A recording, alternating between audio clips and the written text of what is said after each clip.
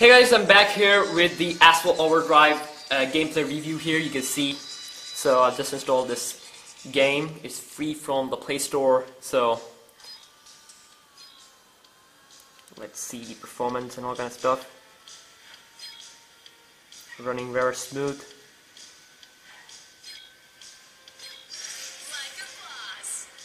Like a bus. So it's kind of like a tutorial. It's the first tutorial. You can also smash cars like this. But you have to do the timing and stuff like that. You can also have a lot of stunts.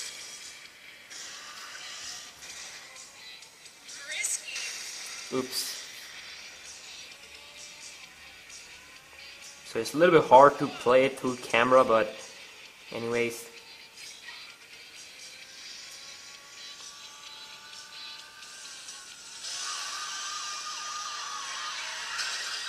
So basically it's a running racing game, running racing game just like Temple Run. Uh, instead we have a car and we have the same kind of controls. So you can see that um, also we will have a lot of cars to you know buy from, to select from, and uh, you can see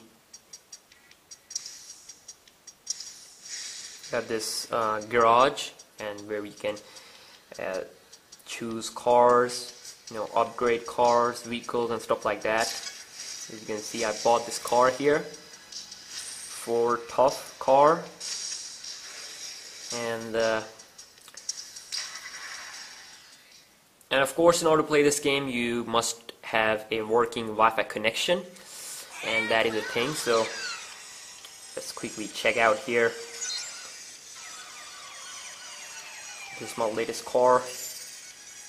Oops. So we have to do the timing at the start.